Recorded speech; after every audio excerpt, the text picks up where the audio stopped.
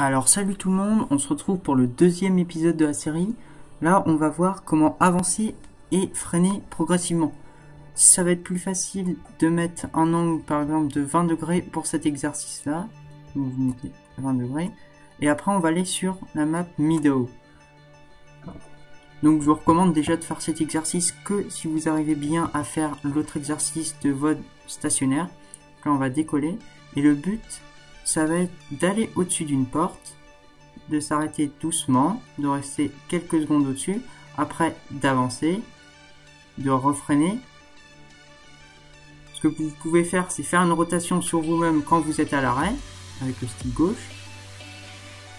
Et le but de l'exercice, ça va être de faire tout le circuit comme ça, en accélérant, en freinant progressivement, et d'aller le plus en plus vite possible.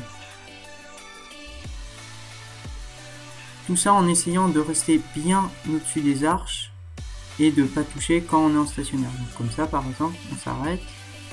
Là par exemple je recule, donc on va essayer à peu près de rester stable. Voilà, on avance. Et vous verrez que plus on va vite, plus il faut tirer le stick en arrière pour s'arrêter. Vous verrez au bout d'un moment la puissance qu'il faut mettre parce que pour s'arrêter, il faut aussi rajouter un peu d'accélération. Une fois que vous arriverez bien à cet exercice-là, ce que vous pourrez faire, c'est faire pareil, mais en passant sous les arches et en se stabilisant sous les arches. Donc là, c'est déjà plus compliqué.